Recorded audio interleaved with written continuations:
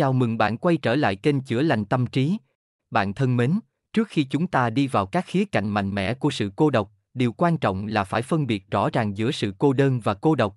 Cô đơn là cảm giác cô lập và trống trải nảy sinh khi chúng ta khao khát sự kết nối nhưng không thể tìm thấy nó, nó mang theo nỗi buồn và cảm giác thiếu thốn. Còn sự cô độc là sự lựa chọn có ý thức để dành thời gian một mình. Cô độc không chỉ đơn thuần là cảm giác vắng mặt của bạn bè, nó còn là sự đối diện một mình trước thế giới rộng lớn bao la, cùng những câu hỏi lớn cho cuộc đời mỗi người. Sự cô độc ban đầu sẽ gây ra cảm giác sợ hãi, bởi nhiều người tin rằng sự cô độc là điều không ai mong muốn trong xã hội. Tuy nhiên, trong video này sẽ giúp bạn có một góc nhìn sâu sắc hơn để xem xét những lợi ích đáng kinh ngạc của việc sống cô độc một mình qua những câu chuyện Phật giáo vô cùng thú vị dưới đây. Mời bạn cùng đón xem.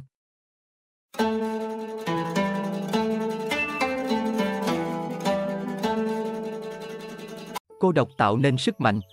Trong đời sống có một điều mà hầu như ai cũng cần có, đó là mối quan hệ xã hội. Phải có gia đình, bạn bè, đồng nghiệp, câu lạc bộ, hội đồng hương.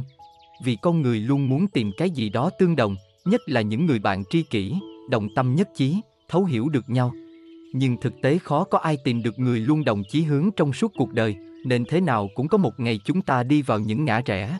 Khi bạn tâm giao bỗng nhiên đổi hướng hay khi phải đối mặt với những biến cố lớn của cuộc đời, thì chúng ta sẽ cảm thấy cô đơn trống trải. Khi đó, chúng ta lại tiếp tục đi tìm những mối quan hệ mới. Sống trong một xã hội có tập tính sống bầy đàn, thì cô đơn có thể là một vũ khí vô hình có thể giết chết nhiều người. Đó như là một căn bệnh khiến nhiều người sợ hãi mà tránh xa. Nhiều bạn trẻ mới vào đời cũng bởi vì không thể chịu đựng nổi nỗi cô đơn không ai hiểu mình, mà chọn con đường hủy hoại bản thân. Ở đời cô đơn là cảm thấy bất hạnh nhưng trên hành trình phát triển tâm linh, em là con đường tốt nhất để khám phá ra những chân lý. Khi một người chịu được sự cô đơn, những nỗi khổ niềm đau thăng trầm giữa cuộc đời mà vẫn đứng vững, thì người đó đã biết cách bước chân trên con đường độc hành một mình. Giống như hoa đào phải chịu cái giá rét buốt xương để mùa xuân chúng lại nở ngát hương. Khi một người biết quay vào chính mình, thì họ có thể mở tâm ra vô lượng từ bi hỷ xã trong xã hội ngày nay, những người càng lệ thuộc nhiều vào các mối quan hệ càng dễ bị ngoại cảnh chi phối đến cảm xúc. Những người như vậy rất dễ bị tổn thương. Nếu ai đó cố tìm nơi nương tựa bên ngoài, hết đối tượng này cho đến đối tượng khác, thì tâm liền bị ràng buộc trong những mối quan hệ đó. Đa số mọi người thường chọn sống trong một tập thể, tuy nhiên mỗi cá thể sinh ra giống như một vì sao tinh túy trên bầu trời. Có thể bạn không biết mình là ngôi sao nào, nhưng bạn đang soi sáng và ảnh hưởng đến những người khác xung quanh bạn. Bởi vậy, việc hòa mình hoàn toàn vào tập thể bạn có thể đánh mất đi chính mình, trong khi ở một mình bạn có thể tỏa sáng hơn bao giờ hết. Những giá trị bên trong con người bạn sẽ được phát huy đầy đủ nhất. Trong xã hội, hầu hết mọi người không tìm ra được lẽ sống chính mình, không hiểu mình, không biết mình sống để theo đuổi điều gì, nên họ thường chọn sống theo tập thể. Nhưng họ lại không biết tập thể sẽ dẫn họ đi tới đâu. Những suy nghĩ như kiểu, mọi người đều như vậy, mình cũng nên như vậy, nếu không theo xu hướng đó có thể bản thân họ cảm thấy hoang mang lo lắng, đó là tâm lý của những người đã phụ thuộc hoàn toàn vào đám đông xã hội. Chúng ta chỉ biết chạy theo người khác, sống theo tiêu chuẩn sống của người khác, trôi theo xu hướng đám đông, cuối cùng để đổi lại một cuộc sống như những thực thể tồn tại vô hồn. Có người từng nói, nếu một người ngay cả mục đích cuộc đời mình là gì cũng không biết, thì người đó rất có thể trở thành một con rối của xã hội. Trong sâu thẳm mỗi người luôn có một nhu cầu, đó là được người khác tôn trọng và công nhận bởi vì suy cho cùng ai sống trên cuộc đời này đều muốn trở thành một người có ích cho xã hội, không ai muốn trở thành người vô hình. Tuy nhiên suy nghĩ này chỉ khiến họ đi lòng vòng, bởi càng hướng ra bên ngoài mong nhận được sự công nhận của người khác, họ càng làm mình trở nên lu mờ. Giống như việc mặc một chiếc áo ngoại cỡ để chứng tỏ mình cũng hợp thời với xã hội, những sự công nhận bên ngoài đó đều phù phiếm và chống tàn. Sau bao thăng trầm của lịch sử, rốt cuộc những người được nhớ đến nhiều nhất không phải là những người giỏi thích ứng với xã hội nhất, mà những người đem lại giá trị thật của bản thân giúp ích được nhiều cho cộng đồng. Bởi vậy sứ mệnh chung của mỗi người là chúng ta chỉ nên sống tốt cuộc sống của chính mình, phát huy tốt khả năng tiềm ẩn bên trong bản thân và làm cho nó tỏa sáng. Trang tử cũng từng nói, đồng hữu chi nhân, thì vi chi quý, ý nói rằng, người biết ở một mình sẽ trở thành người xuất chúng.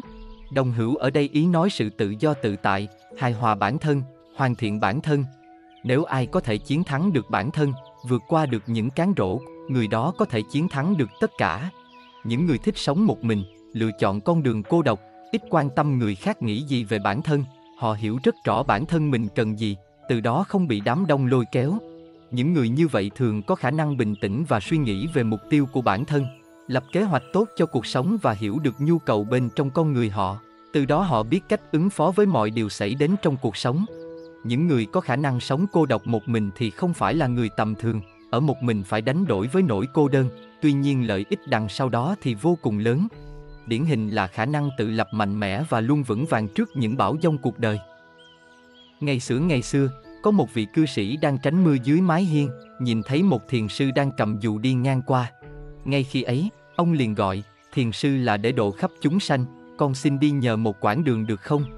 Thiền sư liền nói, ta đang ở trong mưa, còn ông ở dưới mái hiên, không có mưa, vậy ông chẳng cần ta độ.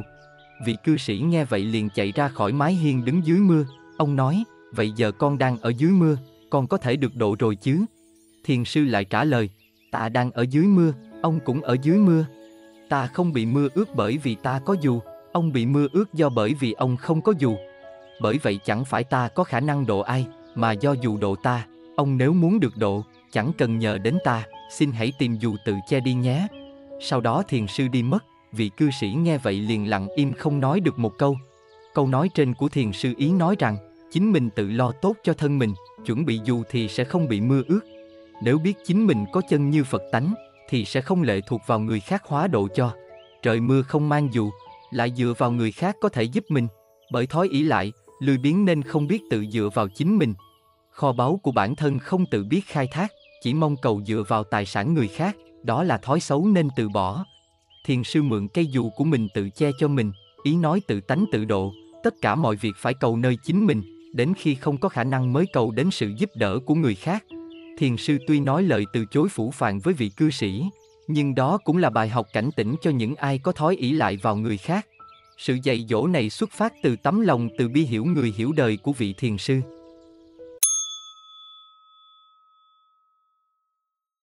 Sự cô độc là con đường dẫn đến trí tuệ. Trong suốt chiều dài lịch sử, đã có rất nhiều cá nhân ở các giai đoạn khác nhau đã chọn rời xa một cách có ý thức những kết nối xã hội và lựa chọn sự cô độc một mình. Những lựa chọn này thường được thúc đẩy bởi mong muốn hiểu sâu hơn về sự tự suy ngẫm bản thân và sự phát triển tâm linh, hòa hợp với toàn thể vũ trụ. Trang Tử từng nói, mục tiêu cuộc đời mỗi người không gì khác ngoài thấu hiểu chính mình và tìm thấy con đường chính mình. Những người lựa chọn sự cô độc một mình ngoài khả năng quay vào bên trong, thấu hiểu rõ bản thân, họ còn đạt được sự giác ngộ tâm linh thông qua con đường khám phá bản thân, một cuộc hành trình được thực hiện tốt nhất trong sự tĩnh lặng của sự cô độc. Họ dành phần lớn thời gian của đời mình để đi sâu vào chiều sâu tâm trí, tìm kiếm sự hiểu biết sâu sắc hơn về bản thân cũng như cách vận hành của vũ trụ. Việc thực hành cô độc đã được chứng minh bởi những ví dụ lịch sử, không phải bởi sự sợ hãi hay có xu hướng chống đối lại xã hội. Thay vào đó là một sự lựa chọn có chủ ý để lùi lại thế giới bên ngoài, bước vào thế giới nội tâm bên trong. Chúng ta có thể đối mặt với suy nghĩ của mình, hiểu được cảm xúc của mình. Sự cô độc sẽ giúp bạn yên tĩnh và lắng nghe được tiếng nói bên trong mình để hiểu những mong muốn sâu sắc nhất của bản thân. Từ đó bạn có thể điều chỉnh lại cuộc sống phù hợp với con người thật của mình. Điều này dẫn đến một cuộc sống trọn vẹn và chân thực hơn sống hài hòa với những giá trị và niềm tin sâu thẳm nhất thế giới ngày nay có rất nhiều sự hiểu lầm về sự cô đơn và những người tìm kiếm nó. Nhưng hãy quay lại với lịch sử, vào thời mà chưa có nhiều công nghệ xâm chiếm cuộc sống chúng ta, mọi người có nhiều thời gian quay vào bên trong và lựa chọn cách sống độc hành như một cách rèn luyện bản thân tốt nhất. Hầu hết những vị thánh nhân, bậc giác ngộ, các nhà khoa học đều là những người thích độc hành một mình. Họ theo đuổi con đường thiền định, cầu nguyện và phát triển tâm linh.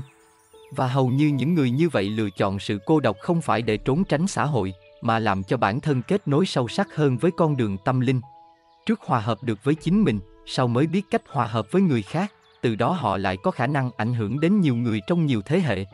Đó là lý do tại sao những người thông minh thường thích ở một mình. Vào thời nhà Tống, có một cư sĩ tên là Tông Viên, tới nhận chức huyện lệnh ở Châu Qua, Giang Bắc, nay thuộc tỉnh Giang Tô, An Huy, Trung Quốc. Vì huyện lệnh này rất thích học đạo, tu thiền.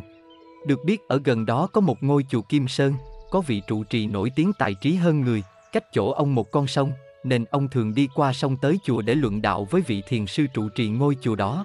Một hôm tông viên tự thấy công phu thiền của mình có tiến bộ, ông đã làm một bài thơ, sau đó sai người hầu của mình qua sông mang cho thiền sư trụ trì xem. Bài thơ được viết như sau, cúi lạy trời Phật, hào quang chiếu đại thiên, tám gió thổi chẳng động, ngồi yên dưới đài sen. Chú thích, tám gió ở đây ý chỉ cho tám hoàn cảnh cuộc sống mọi người thường gặp là khen, chê, hủy bán, ca tụng, lợi lộc, bất hạnh, khổ, vui, ảnh hưởng đến tâm trạng và cảm xúc mỗi người.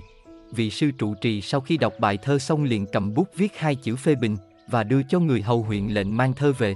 Tông viên cầm lại bức thư thầm nghĩ, thiền sư sẽ khen ngợi cảnh giới ngộ đạo của mình. Ông háo hức mở ra xem lời phê bình của thiền sư. Nhưng trái ngược hoàn toàn ý muốn của ông, sau khi mở tờ giấy ra, thiền sư chỉ viết vọn vẹn hai chữ to tướng là hạ phong, có nghĩa là đánh rắm. Ông đã không kiềm chế được cơn giận dữ của mình, liền sai người hầu chuẩn bị xe ngựa đi đến bến phà, qua sông tới chùa Kim Sơn gặp vị sư trụ trì. Khi thuyền qua sông sắp đến chùa Kim Sơn, vị thiền sư trụ trì đã sớm đứng đợi tông viên ở bờ sông bên này. Tông viên vừa thấy thiền sư liền hỗn hển nói, Thiền sư, chúng ta là bạn đạo rất thân mật, thơ của tôi, sự tu hành của tôi ngài không khen ngợi thì thôi, cớ sao lại nhục mạ người ta quá đáng như thế. Thiền sư vẫn điềm nhiên giả vờ như không biết chuyện gì, liền hỏi, nhục mạ ông như thế nào? Tông viên giơ hai chữ đánh trắm trong tờ giấy phê bình thơ của thiền sư cho ông ấy xem, thiền sư cười ha hả nói, à, ông chẳng phải nói trong thơ là tám gió thổi chẳng động sao? Cớ sao chỉ có chút hơi đánh trắm mà ông đã bay từ bờ sông xa tít bên kia sang tận bờ sông bên này rồi. Tông viên nghe xong xấu hổ, không nói được gì, bởi vậy nội lực tu tập của mỗi người chẳng phải để đem ra bàn luận suông, mà phải bằng công phu tu tập thực chứng mới đạt được cảnh giới cao, khiến tám gió thổi chẳng động. Video này mình xin tạm dừng tại đây, cảm ơn bạn đã xem. Nếu thấy video này hữu ích, đừng quên ấn like share và đăng ký kênh để nhận thông báo video mới mỗi ngày. Kênh có nút cảm ơn, nếu bạn yêu mến kênh và yêu thích video này, đừng ngần ngại ấn nút cảm ơn để kênh có động lực lan tỏa cộng đồng tốt hơn. Hẹn gặp lại bạn trong những video tiếp theo.